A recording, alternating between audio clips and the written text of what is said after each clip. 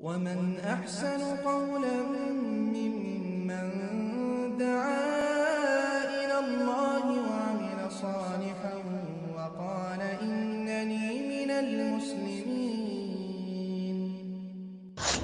ওয়ালাইকুম আসসালাম রহমতুল্লাহ বারকাত সম্মানিত ভাই জানতেছিলেন যে সমস্ত ছাত্রছাত্রীরা স্কুল কলেজের লাইফে তারা বিভিন্ন ধরনের বেহায়াফনা বেরাল্লাফনা জেনা বেবিচারের মধ্যে লিপ্ত ছিল।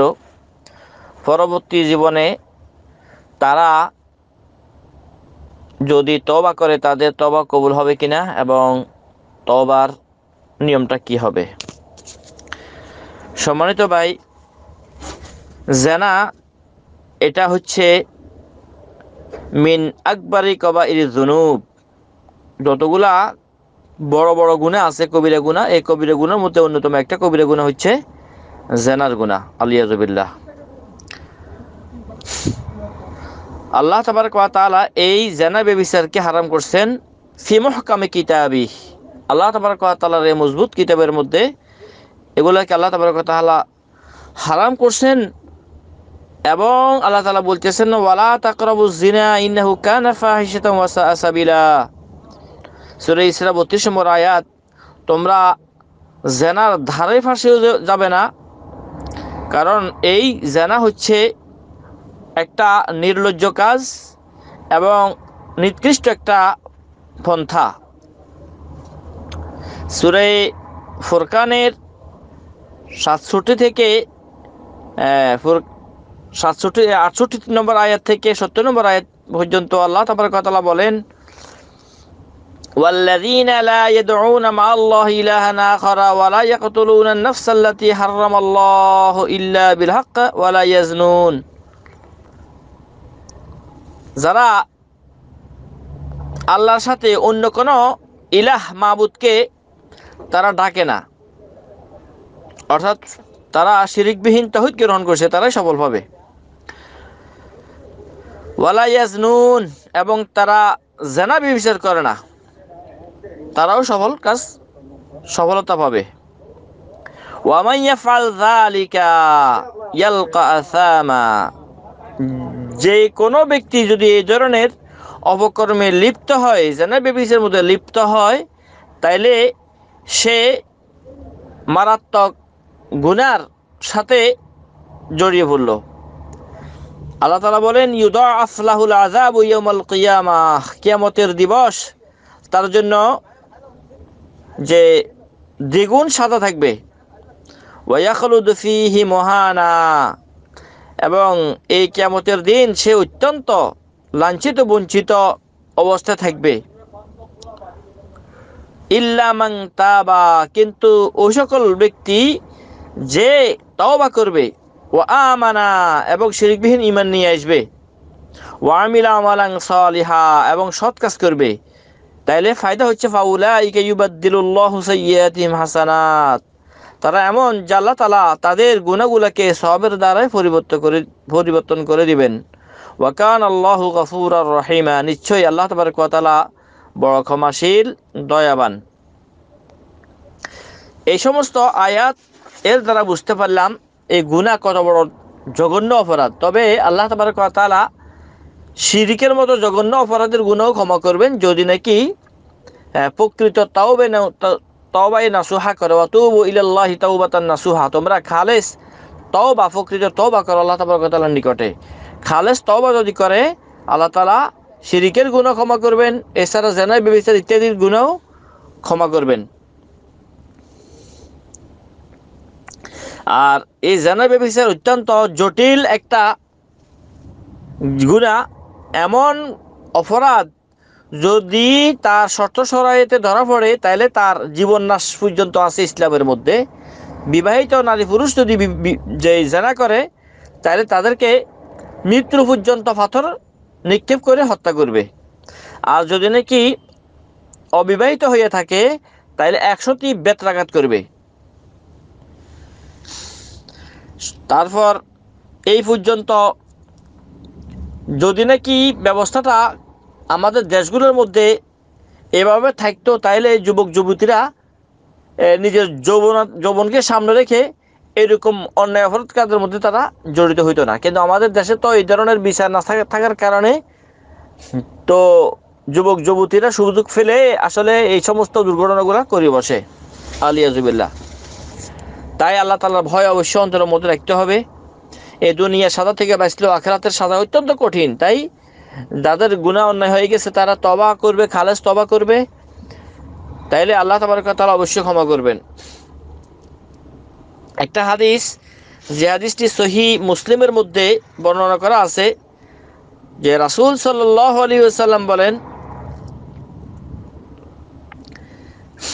আন্না মান তাবা ক্বাবলা গলকি বাবি তাওবা, তাবাল্লাহু আলাইহি। যে ব্যক্তি তওবার দরজা বন্ধ হওয়ার আগে আগে তওবা করবে, আল্লাহ তাআলা তার তবা কবুল করবেন। মান তাবা ক্বাবলা আন তাতলু আশ-শামস মিন মাগরিবিহা তাবাল্লাহু আলাইহি। তবার সময় কতটুকু? অর্থাৎ পশ্চিম আকাশে সূর্য যেদিন হবে, সূর্য আকাশে পশ্চিম আকাশ থেকে যখন সূর্য উদয় হবে, এখন তো পূর্ব আকাশ থেকে সকালবেলা সূর্য উদয় হয়। কিন্তু কেমতের আগে এমন একটা দিন আসবে যে পশ্চিম আকাশ থেকে সূর্য উদয় হবে। এই দিন আসার আগ পর্যন্ত তবা কবুল হবে। তাই রাসুল সাল্লাম বলতেছেন, বন্দা যখন তবার দরজা বন্ধ হওয়ার আগ পর্যন্ত তবা করবে, আল্লাহ তালা তবা কবুল করবে। আল্লাহ তোমার তাআলা কোরআনের আয়াতের মধ্যে বলেন কুল ইয়া ইবাদিয়াল্লাযিনা আসরাফু আলা আনফুসিহিম, লা তাকনাতু মির রাহমাতিল্লাহ। হে নবী আলাইহি সাল্লাম আপনি বলি দেন, ইয়া ইবাদি, হে আমার বান্দাগণ, আল্লাযিনা আশরাফু আলা আনফুসিহিম, যারা তোমরা নিজেদের উপর নিজেরা জুলুম করছ, অত্যাচার করছ, সীমালঙ্ঘন করছ, লা তাকনাতু মির রাহমাতিল্লাহ, আল্লাহর রহমত থেকে তোমরা নৈরাশ হবে না। জামিয়া আল্লাহ তাআলা সকল করবেন। রহিম। বড়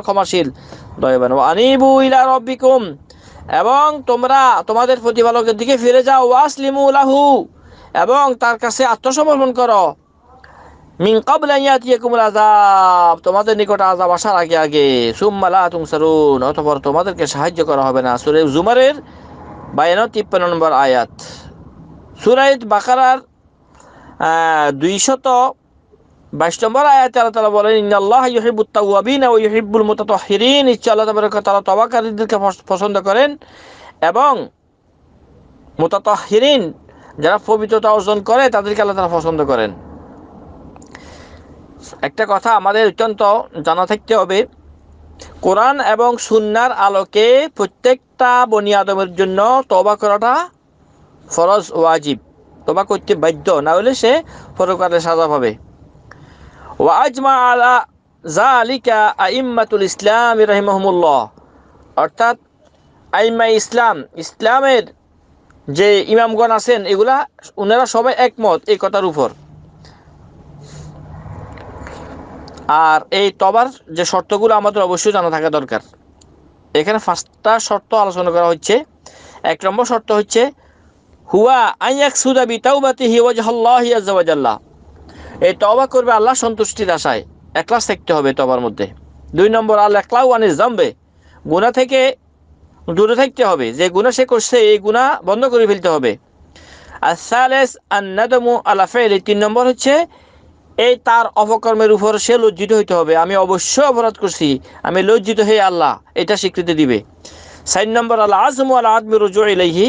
সে জীবনে এই কাজ পুনরাবৃত্তি করবে না, পুনরায় এই কাজ করবে না, এই কর্তার উপরে সে ফাক্কা রাজা করবে। আল খামেস পঞ্চান্ন নম্বর, আন তাকুনা তাওবাতু ক্বাবলা আন ইয়াসিল আল আবদু ইলা হালিল গরগরাতি ইনদাল মাউত।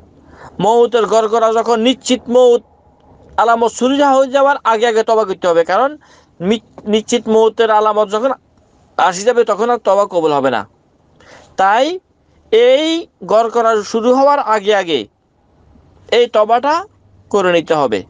তবে যদি নাকি এই গুণাগুলা কারও বন্দার, অন্য বন্দার হক নষ্ট করার ব্যাপারে থাকে তাহলে তার হক নষ্ট করার অপরাধে সে ওই ব্যক্তির হক তাকে পৌঁছে দিবে বা তার থেকে ক্ষমা নিয়ে নিবে। নাহলে সেটা হবে না। নাহলে তবা পুরো পুরো হবে না। বরং আগের এই পাঁচটা শর্তের সাথে এটাও একটা যোগ হবে। অন্য হক নষ্ট করে থাকলে অন্য হকটাও কি করতে হবে? ফেরত দিতে হবে। এই মিলিয়া, যদি আমরা খালেজ দিনে আমরা তবা করতে পারি, আল্লাহ তাবারকতালা আমাদের গুণ অবশ্যই ক্ষমা করবেন। আল্লাহ তাবারকতালা ছাড়া আমাদের কোনো উপায় নেই, আল্লাহ তালা আমাদের সহায়। আমরা আল্লাহ তাবারকতালার নিকটে ফিরে যাই। যে রাসুল সসলাম বলতেছেন, কুল্লু বানি আদম খত্তা ওখেরুল খত্তা ইন তাউয়াবুন বনি আদম মাত্রই সে ভুল করতেই পারে, তবে শ্রেষ্ঠ ভুলকারী হচ্ছে যে তবা করে। আল্লাহ তাবারকতালা আমাদের সবাইকে যে আল্লাহর ফতে আসার এবং হারাম থেকে বাঁচে থাকিয়া যেন আমরা হালাল ফতে পরিচালিত হইতে পারি, সেই টফিক আল্লাহ আমাদের সবাইকে দান করুন। আশা করি বিষয়টা বুঝতে পারছেন। বাকি আল্লাহ আলম সাহেব, সালামু আলাইকুম রহমতুল্লাহ বারকাত